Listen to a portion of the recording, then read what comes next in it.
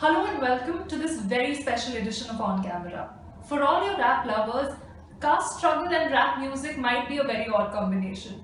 But ThePrint recently met with a Dalit rapper from JNU who's challenging age-old caste hierarchies and norms with his subversive music style. Why don't you catch a glimpse of his work? Hey, I'm a young Dalit guy with a cap who's still learning to rap. I'm gonna tell you the stories of our lives, every single thing I've been through in your caste better strife. As long as I'm alive, when I rap, I don't subscribe to your critical merit, aesthetics, musical understanding.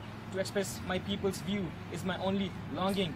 Because you have stripped us of our human belonging. Let me tell you what you have done. The pain is still not gone. You made me question my parents, my birth, my human existence, my appearance, my food, my clothes, my smell, etiquette, mannerism. I could never find no logic, no human reason. Season after season, in all of life's motion, season after season, in all of life's motion, you did constant vilification. I saw my parents' tears with caste humiliation. I saw my parents' tears with caste humiliation. When my mother cooked food, you never ate. With, with my mother's cooked food, you never ate. I thought maybe my mother doesn't cook so good.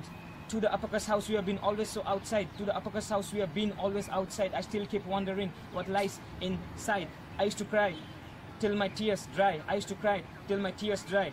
But I want to ask, why? Us, why?